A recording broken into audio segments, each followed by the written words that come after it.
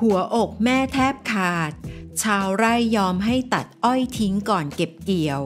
หวังช่วยเด็กสองขวบหายตัวลึกลับ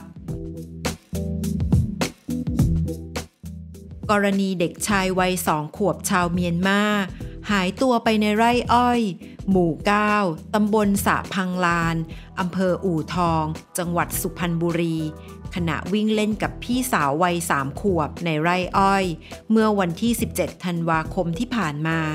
จนถึงขณะนี้แล้ว เป็นระยะเวลากว่า 6 วันแล้ว ก็ยังไร้วี่แววพบเด็ก พ่อแม่เชื่อว่าลูกยังมีชีวิตอยู่ แต่อาจถูกบังตาซ่อนตัวในดงอ้อย วอนพึ่งสิ่งศักดิ์สิทธิ์ช่วย ล่าสุด ผู้ว่าสุพรรณบุรีได้ลงพื้นที่สั่งการติดตามด้วยตัวเอง ตามที่เสนอข่าวไปแล้วนั้น ความคืบหน้าเมื่อวันที่ 22 ธันวาคม ผู้สื่อข่าวรายงานว่า เมื่อช่วงค่ำวันที่ 21 ธันวาคมที่ผ่านมาผู้ว่าราชการจังหวัดสุพรรณบุรี ประสานนำเฮลิคอปเตอร์ จากกองบินตำรวจ มาบินระดมค้นหาในบริเวณดังกล่าว ทางภาคอากาศ ส่วนภาคพื้นดิน ทางกองบังคับการตำรวจภูธรจังหวัดสุพรรณบุรี สั่งการให้ตำรวจกว่า 100 นาย เข้าสนับสนุนในพื้นที่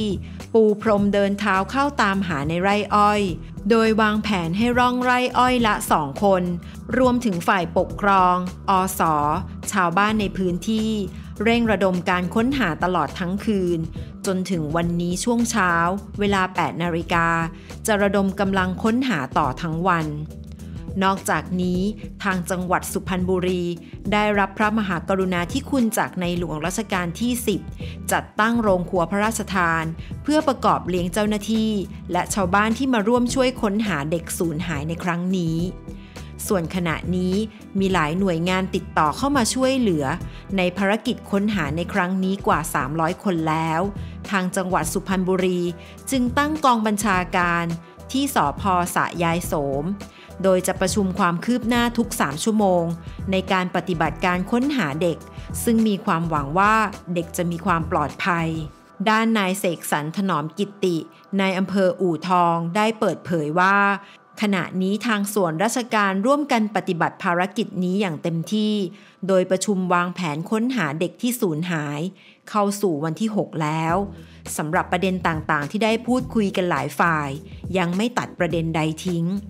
ทั้งส่วนเด็กอาจพลัดหลงในป่าอ้อย เนื่องมาจากวิ่งเล่นกับพี่สาว ซึ่งทางเจ้าหน้าที่ก็กระจายกำลังปูพรมทุกจุด และวันนี้จะขอความร่วมมือจากเจ้าของไร่อ้อยบริเวณนั้นกว่าพันไร่ ตัดอ้อยเพื่อเร่งค้นหา ซึ่งได้รับความร่วมมืออย่างดีจากเจ้าของไร่อ้อย ในการให้ตัดอ้อยก่อนกำหนดเก็บเกี่ยวพืชผล ต้องขอขอบคุณที่ให้ความร่วมมือเป็นอย่างดี ส่วนประเด็นการลักพาตัวก็ยังไม่ตัดทิ้ง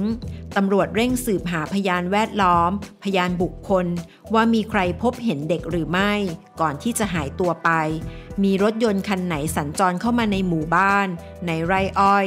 และส่วนเด็กหญิงวัยสามขวบที่อยู่ในเหตุการณ์ ก็ยังตกใจ เจ้าหน้าที่ได้พูดคุย ก็พูดเพียงแค่ว่า มีน้าผู้ชายมาจูงมือไป ซึ่งทางตำรวจก็เร่งสืบหาเบาะแสต่างๆ อยู่ ไม่ได้ตัดทิ้งประเด็นใดทิ้ง และวันนี้จะนำชุดประดาน้ำมาค้นหาในบริเวณบ่อใกล้เคียงใกล้อ้อย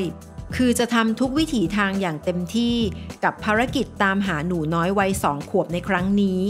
ซึ่งช่วงบ่ายวันนี้ ทางผู้ว่าราชการจังหวัดสุพรรณบุรี จะเรียกประชุมทุกฝ่ายอีกครั้ง นายเสกสรรได้กล่าวไว้ ขอขอบคุณข้อมูลจากสยามนิว .com อย่าลืมกดติดตามพร้อมทั้งกดรูปกระดิ่ง เพื่อแจ้งเตือนทุกครั้งที่มีคลิปใหม่ ๆ จะได้ไม่พลาดคลิปของเรื่องเล่าข่าวค้นนะคะ รักทุกคนค่ะ